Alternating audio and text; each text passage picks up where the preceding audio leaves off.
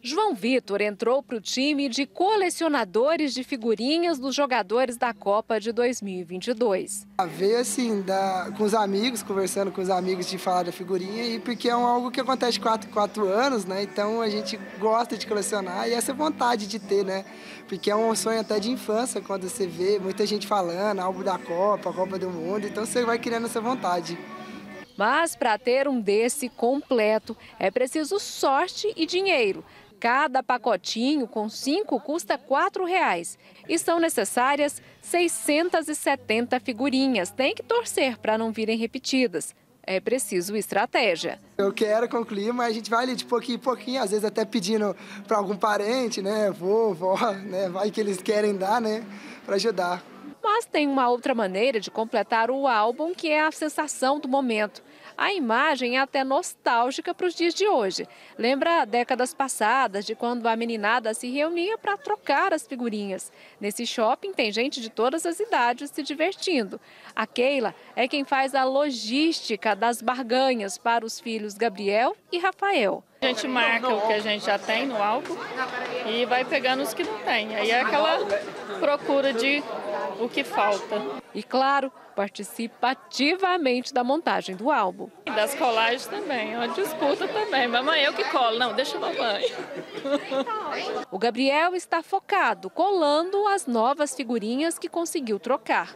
A meta é uma só e o quanto antes. Completar ele. E qual a figurinha que você está mais ansioso para colocar aqui? Neymar, ainda não tenho. Rafael, de 12 anos, participa pela primeira vez dessa interação de trocas. Completar o álbum, colar as figurinhas e trocar.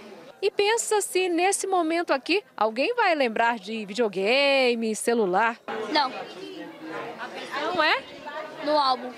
É realmente um momento de interação com a família e socialização surgem novas amizades. Isso é uma prática que todo mundo interage, né? as crianças interagem, pais e filhos. As vendas das figurinhas começaram nesta livraria no dia 19 de agosto. A expectativa era até no mês de outubro vender 70 mil, mas em 10 dias já foram 55 mil. Todo o estoque novo que chega não dura nem três dias. Está surpreendendo bastante, muito além do que eu imaginava.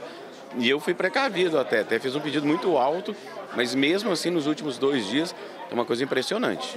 Pedro pensou até em adequar um espaço para a troca de figurinhas, mas nem deu tempo. É colecionador mostrando as que tem por todos os cantos. Eu vejo muita criança de 5, 7, 10 anos abandonando o celular, as redes sociais e trocando figurinha, conversando com o outro, conversando com um amigo, negociando. E aqui também acontece algo das antigas, bater figurinha. As que virarem de costas são levadas por quem deu o tapa por último. O Matheus e o Renato estão pegando a manha. Eu sou bem ruim mesmo, eu nem tenho técnica, eu só bato na carta mesmo e seja o que Deus quiser. É bom, né, ficar divertindo com os amigos, é, suspense também para ver quais figurinhas vai pegar, é isso. Nessa brincadeira você já conseguiu muito? Já consegui. Batendo não, que eu sou meio ruim, né, mas trocando já consegui já.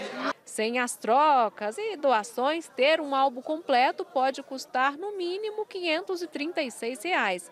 Isso se não encontrar nenhuma figurinha repetida.